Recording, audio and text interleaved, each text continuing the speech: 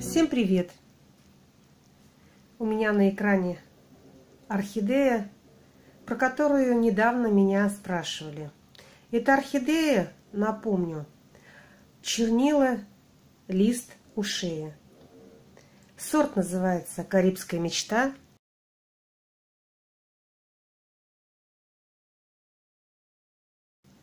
Когда я ее покупала – Вроде, казалось бы, все было с ней хорошо.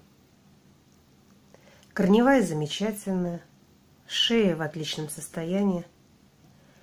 Единственное, что мне не очень нравилось, это грунт как бы уходил внутрь, а корни возвышались над горшком, и шея оказалась внутри.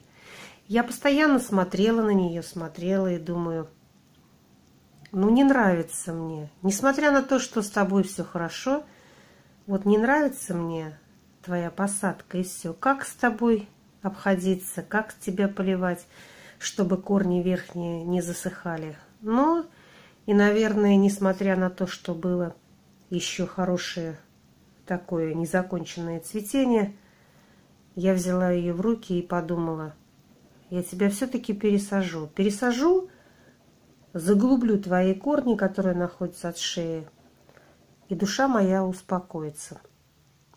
Я подобрала для нее вот такую вот высокую вазу. У меня она была свободна.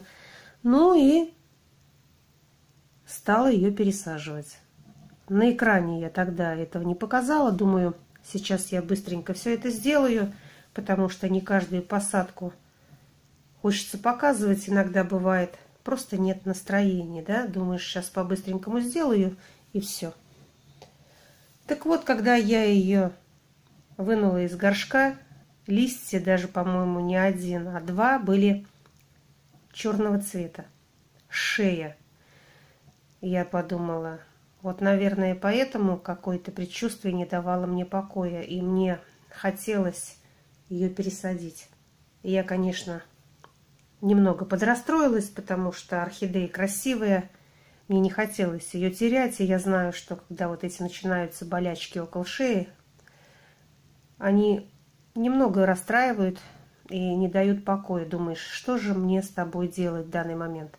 Так вот, я тогда убрала один лист, посадила ее в вазу, вверх положила кору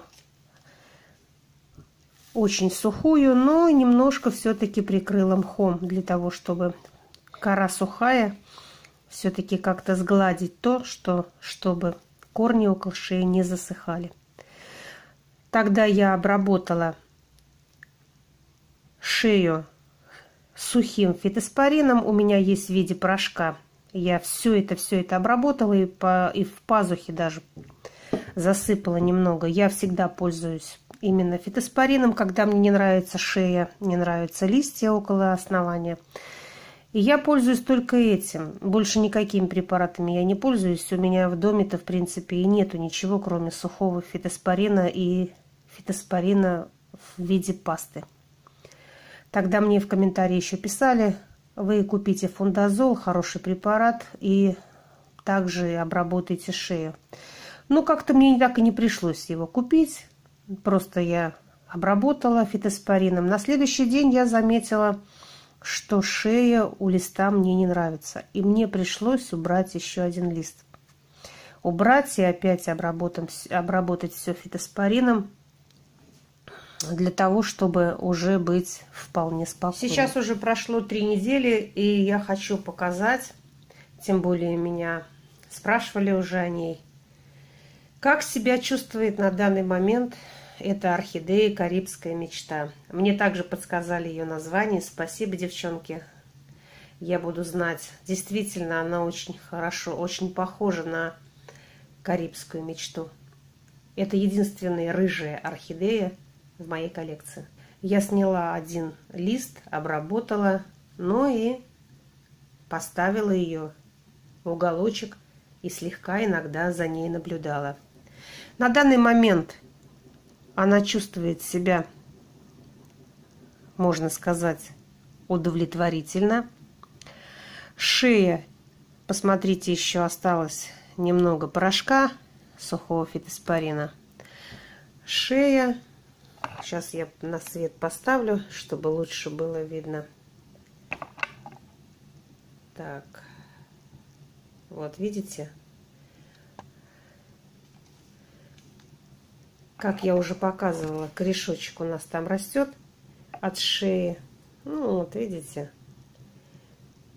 Мало того, она еще растет листик. Ну, все, я за нее спокойно. Орхидея уже адаптировалась. Если она наращивает корень и лист, значит, все будет с ней в порядке. Фитоспорин помог, справился с этой легкой задачей, потому что было только начало, орхидея не успела загнить окончательно. Если бы я ее тогда не пересадила, она бы, конечно, погибла, потому что чернота пошла бы дальше, вглубь, и все, и спасать ее было бы уже бесполезно, потому что я бы не заметила, потому что корни были сверху, закрывались у нее шею. Я бы только увидела тогда, когда уже окончательно стал желтеть лист, и уже практически можно было ее выбрасывать, потому что лечить такие заболевания очень тяжело, нудно и долго. От чего же произошло это заболевание у орхидеи? Почему же она стала именно чернеть лист около шеи?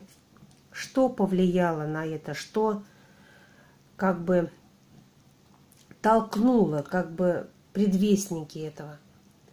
А предвестники это то, что корневая у орхидеи была больная.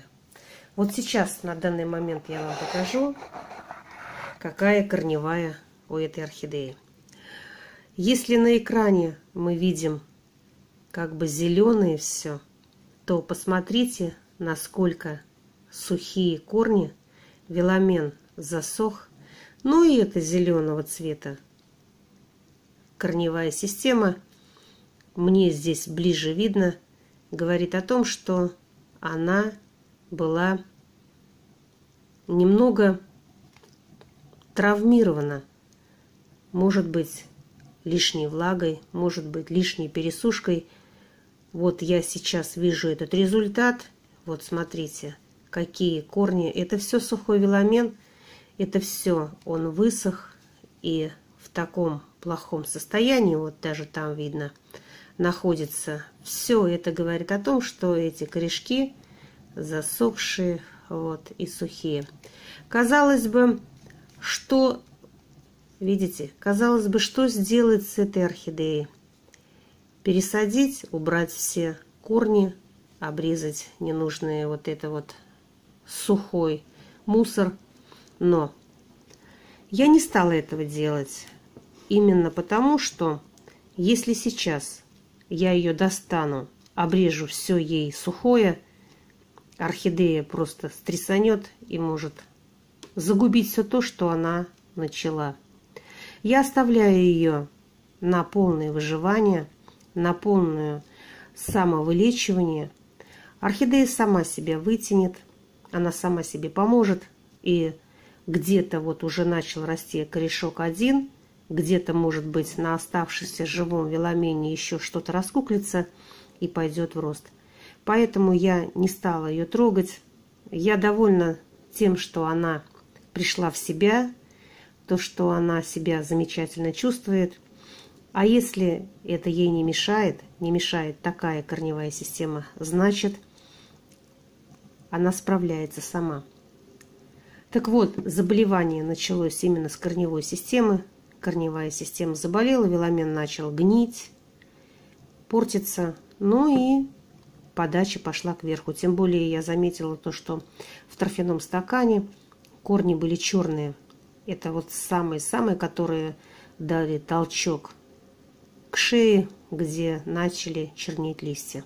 Вот это самая была причина. Поэтому иногда думаешь, берешь хорошую орхидею, думаешь, с ней все хорошо, замечательно, она себя хорошо чувствует, корневая система замечательная, а в торфяном стакане уже где-то что-то было начато заражение, вот эта вот гниль, чернота корней. Может быть, где-то когда-то ее перемочили, под, она где-то подмерзла, тем более орхидея покупалась в прохладное время года. И вот именно то, что было мокрое рядом с шеей, дало толчок этому заболеванию. Сейчас я очень рада за нее, она меня радует. Поливаю я ее с такими корнями один раз в 7-10 дней. Я не стараюсь ее перепалить, потому что, видите, корни сухие. Я не хочу, чтобы опять где-то началось загнивание. Пусть я один раз дам ей один день, один или два дня ей на лишнюю просушку. Вот, замачиваю ее на 15 минут. Ну, ей на неделю, на 10 дней хватает. Она стоит у меня в теплом месте. Прохладу и перепад температуры я ей не делаю, потому что эта орхидея еще не здорова. Она должна вытянуть себя, нарастить хорошую корневую систему, хотя бы немного. Тогда можно ее поставить в комнату, где у меня имеется перепад температур. А пока мы ее содержим в, нормальном, в нормальных теплых условиях. Так вот, что я хочу сказать про фитоспорин. Фитоспорин – это первая моя помощница – чем я обрабатываю свои орхидеи, если мне что-то не нравится у шеи, у листьев. Так вот, все то, что я хотела вам рассказала, показала от этой, об этой болячке, так что не бойтесь ее. Все будет хорошо, если вовремя постараться. На этом я буду заканчивать. Говорю вам всем до свидания, до новых встреч на моем канале. Всем пока.